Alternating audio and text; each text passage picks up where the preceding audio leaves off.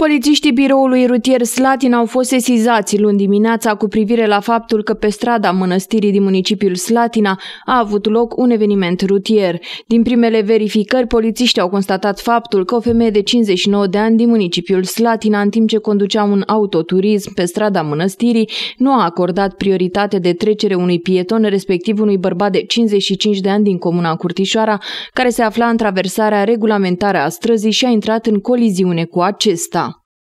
În urma evenimentului rutier, nu au existat victime omenești, iar conducătoarea auto a fost sancționată contravențional pentru abaterea săvârșită, iar ca măsură complementară, polițiștii au reținut permisul de conducere în vederea suspendării exercitării dreptului de a conduce autovehicule pe drumurile publice pentru o perioadă de 90 de zile.